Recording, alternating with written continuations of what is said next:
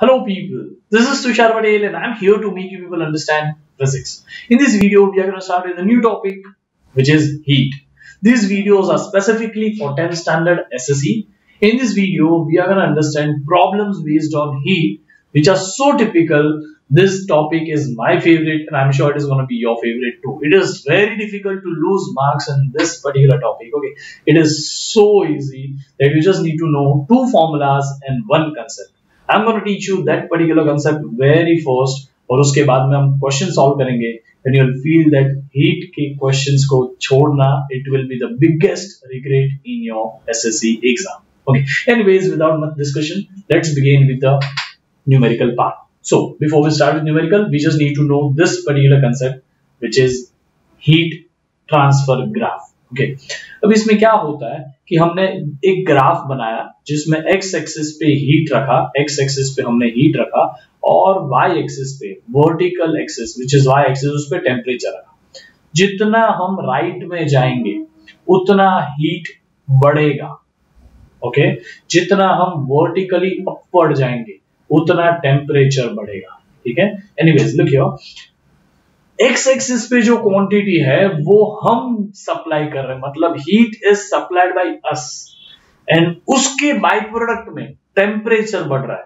ठीक है? We are moving along X axis और अल्टीमेटली कुछ ना कुछ वजह से वाई एक्सिस अपने आप चेंज हो रहा है। ठीक है? Y is not dependent on us Y is dependent on X मतलब टेम्परेचर उसकी वजह से बढ़ रहा है, वो हीट की वजह से बढ़ रहा है।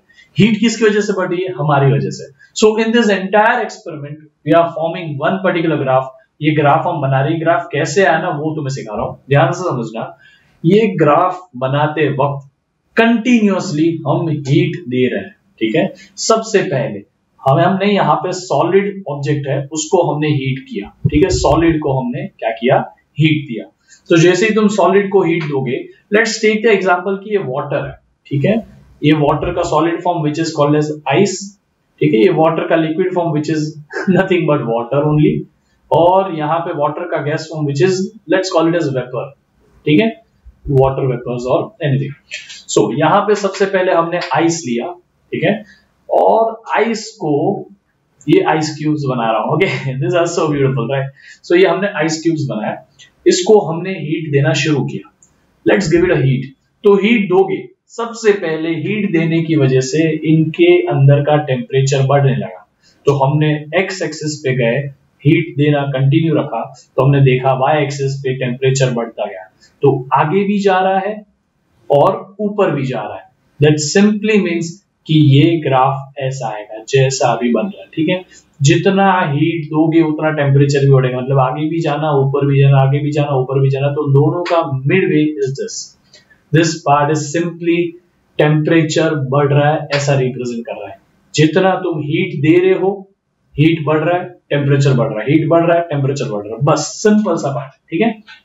लेकिन throughout this process solid गर्म होते गया, गर्म होते गया, गर्म होते गया, लेकिन मेल्ट नहीं हुआ, ठीक है? थ्रू आउट दिस प्रोसेस यहाँ से लेके यहाँ तक, ठीक है?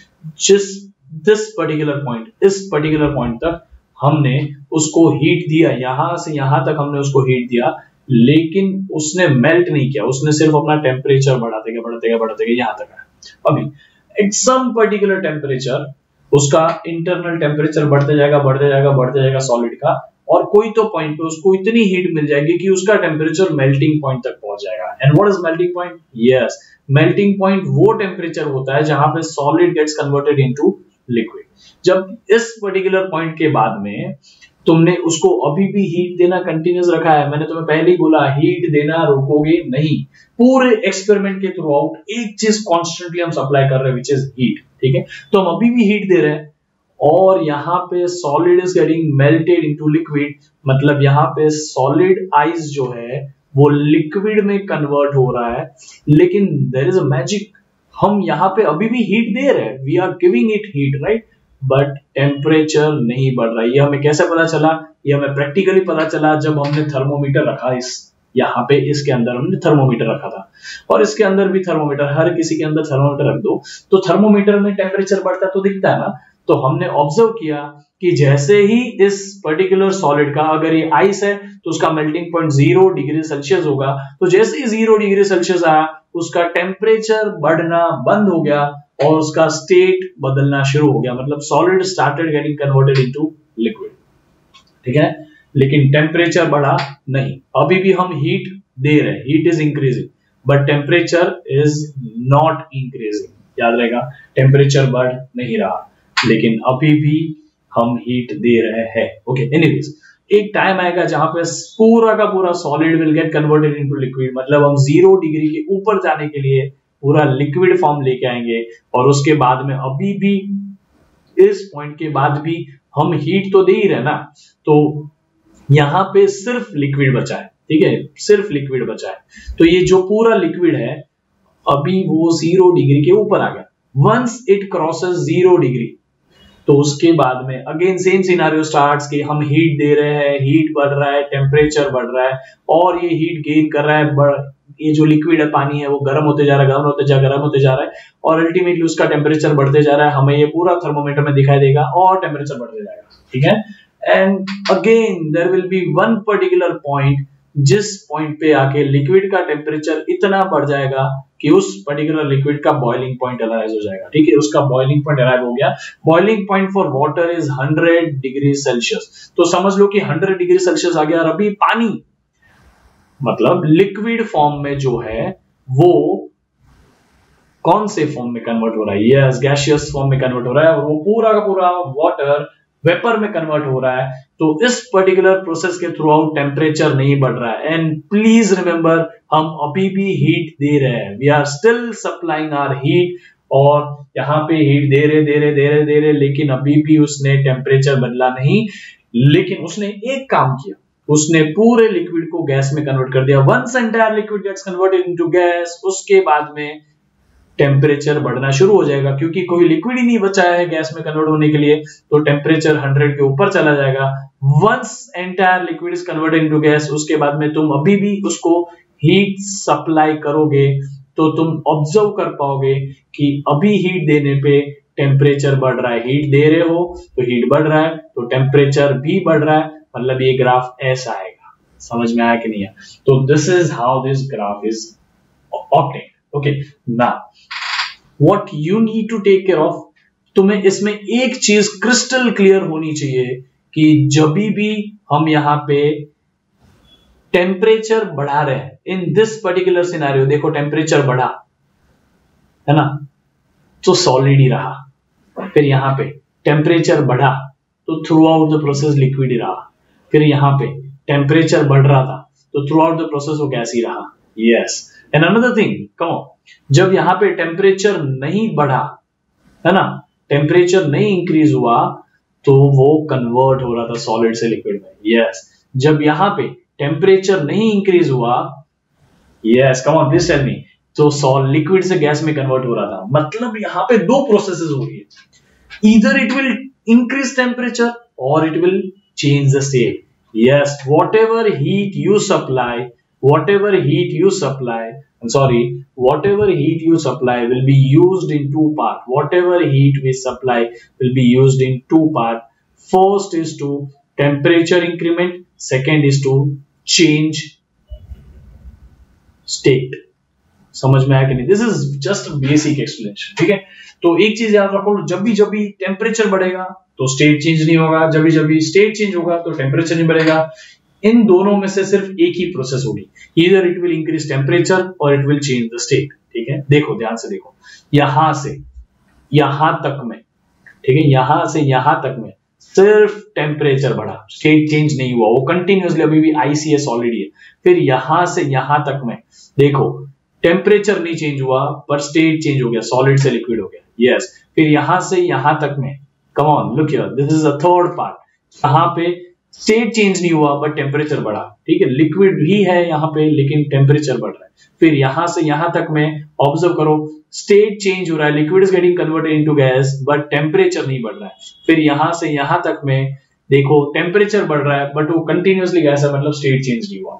तो the concept is whenever we provide heat it will be use for two purpose either it will be used to increase temperature, i should precisely say change temperature but अभी हम समझ रहे कि हम सॉलिड से लिक्विड लिक्विड से gas जा रहा है, ठीक है? तो हम जब भी हीट देते तो वो हीट टेम्परेचर इंक्रीज करने में यूज़ होगी और स्टेट को चेंज करने में यूज़ होगी। स्टेट चेंज करने में यूज़ होगी। Yes very good so this is one concept बस इतना ही तुम्हें समझने का था। इसके लिए मैंने तुम्हें पूरा ये ग्राफ पढ़ाया। ये प्रैक्टिकली ऑप्टेन ग्राफ है। बस इसका कंक्लूजन ये है कि whatever heat we supply whatever heat is given it will either increase temperature और it will change the state याद रहेगा?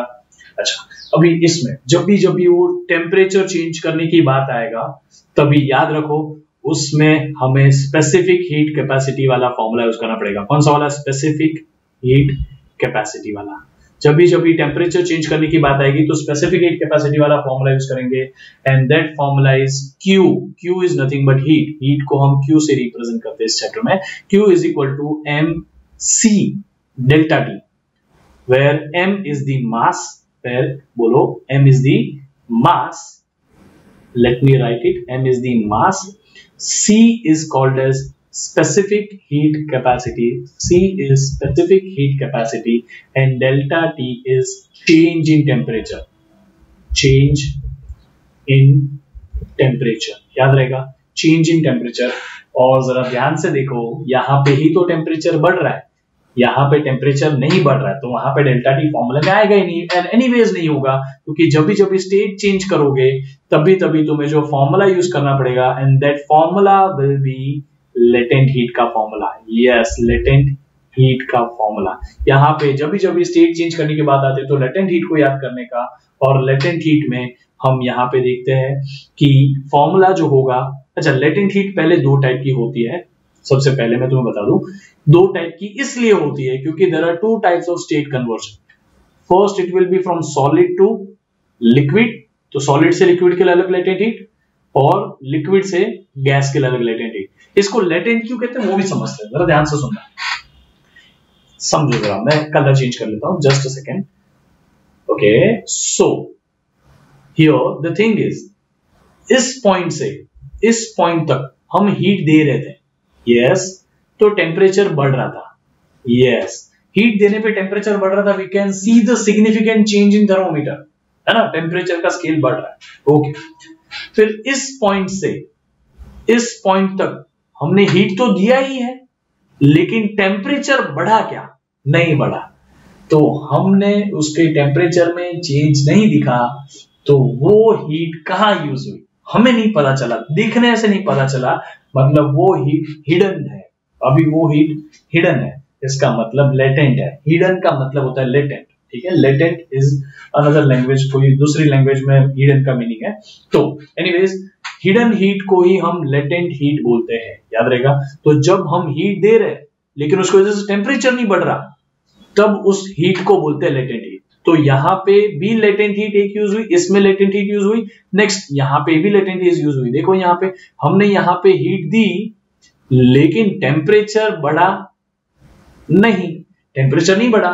तो यहाँ पे भी वो हीट हिडन में हो गई, इसका मतलब यहाँ पे भी लेटेंट हीट आएगी और दिस पर्टिकुलर सेकेंड यहाँ पे भी लेटेंट हीट आएगी। अभी सॉलिड से लिक्विड की प्रोसेस में, ठीक है सॉलिड से लिक्विड की प्रोसेस को एक और नाम है इसको बोलते हैं फ्यूजन तो latent heat of fusion is for solid to liquid का कन्वर्जन एंड दूसरा, यहाँ पे देखो, यहाँ पे लिक्विड से गैस का प्रोसेस को बोलते हैं वेपराइजेशन तो latent heat of vaporisation LV याद रहेगा। L F is latent heat of fusion L V is latent heat of vaporisation तो ये दो तरह की हीट है जो तुम्हें लेटेंट हीट में समझनी पड़ती है। तो there are two types of latent heat latent heat of fusion latent heat of vaporisation latent heat of fusion is for solid to liquid ठीक है? Solid to liquid conversion latent heat of vaporisation is for liquid to gas conversion, याद रहेगा। ये उल्टा भी use होता है, gas to liquid भी यूज़ होगा और ये latent heat of fusion liquid to solid भी यूज़ होगा। ठीक है? एनीवेज तो let me tell you the formula इसका फार्मूला होता है amount of heat supplied is equal to mass into latent heat of fusion ठीक है? जब भी सॉलिड से लिक्विड कन्वर्जन होगा तो तुम Q is equal to M into L F use करोगे। और जब भी वेपराइजेशन का प्रोसेस होगा मतलब लिक्विड से गैस में कन्वर्जन होगा तो Q का formula will be mass into latent heat of vaporisation याद रहेगा?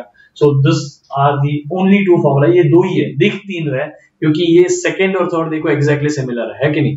बस लेटेंट हीट फ्यूजन की यूज़ करनी की वेपराइजेशन की यूज़ करनी ये तुम्हें ध्यान में रखना है, और and your job is done समझ में आया कि नहीं? So I will be repeating this particular thing हमारे पास में यहाँ पे टोटल तीन फॉर्मूले बने उसमें से एग्जैक्ट समझने जाए तो दो ही फॉर्मूले थे first is Q is equal to M C delta T जिस फॉर्मूला से हमें पता चल रहा है कि heat supplied will change the temperature ठीक है? दूसरा heat supplied heat supplied can also change the state तो स्टेट चेंज करने के लिए लेटेंट हीट का कंसेप्ट यूज़ होता है। और लेटेंट हीट में हमारे पास दो हीट है, एक लेटेंट हीट ऑफ़ फ्यूजन है, दूसरा है latent heat of vaporisation latent heat of fusion तभी यूज़ होता है जब सॉलिड से लिक्विड में कन्वर्जन होता है. लेटेंट हीट ऑफ़ वेपराइजेशन तब यूज़ होता है जब लिक्विड से गैस में कन्वर्जन होता है. And latent heat of fusion के लिए Q is equal to M L F formula लगेगा. लेटेंट हीट ऑफ़ वेपराइजेशन के लिए Q is equal to M L B formula लगेगा. अरे कभी कभी तुम्हें ये फॉर्मूले जैसे भी बता दे जाते देखो, इसमें C का फॉर्मूला बताओ. C का बनाना है फॉर्मूला तो Q ऐसे का ऐसा रहेगा. नीचे मास चला जाएगा, नीचे डेल्टा टी चला जाएगा। समझ में आ रहा है कि नहीं? बस तुम्हें C के मल्टीप्लीकेशन में जो जो चीज़ें हैं, उसको डिवीज़न में लेना है। मतलब मास डिनोमिनेटर में चला गया डेल्टा टी डिनोमिनेटर में चला गया। And here is a formula for specific heat capacity and again again again again listen to me यहाँ पे भी तुम ऐसा कर सकते हो। क्यू को ऐसे ही रखा, है ना? क्यू को ऐसे ही रखो, नीचे मास ले लो। This is your latent heat of fusion समझ में आया? है ना? Latent heat of fusion another formula Q को ऐसे ही रखो मास को डिनोमिनेटर में ले लो. This is your latent heat of vaporization जिसमें भी डिवीज़न में मास होता है ना, उसको स्पेसिफिक लिखा जाएगा. तो there is a concept of specific heat capacity और स्पेसिफिक लेटेंट हीट ठीक? है Q के डिवाइड में M है तो स्पेसिफिक लेटेंट हीट हो गई. Q के डिवीज़न में M है मतलब वो स्पेसिफिक लेटेंट हीट हो गई वेपराइजेशन की। और यहाँ पे Q के डिवीज़न में है मतलब स्पेसिफिक हीट कैपेसिटी हो गई समझ में आया नहीं? So here is a formula ये सब कुछ सिर्फ़ इससे और इससे बना है। तो you don't need to worry about anything अभी हम कौन सा टाइप पढ़ रहे हैं? अभी हम पढ़ रहे हैं specific latent heat specific latent heat के लिए तुम्हें सिर्फ़ इतना पार्ट याद रखना है, ठीक है? Come on it latent heat दो टाइप की होती है। latent heat of fusion which is for solid to liquid liquid to solid conversion latent heat of vaporization which is for liquid to gas gas to liquid conversion ठीक है latent heat of fusion के लिए formula है Q is equal to mass into latent heat of fusion और latent heat of vaporization is Q is equal to mass into latent heat of vaporization. Okay, so let's begin with the questions. पहला सवाल calculate the amount of heat required to convert 5 gram of water ये देखो gram में दिया है, ग्राम अच्छा calorie per gram, ये सब S I unit sorry CGS unit ये सारे। तो तुम्हें कोई कन्वर्जन करने की ज़रूरत नहीं यहाँ पे डोंट वरी अबाउट ठीक है? सब कुछ तुम्हें सीजीएस में दिया हुआ है।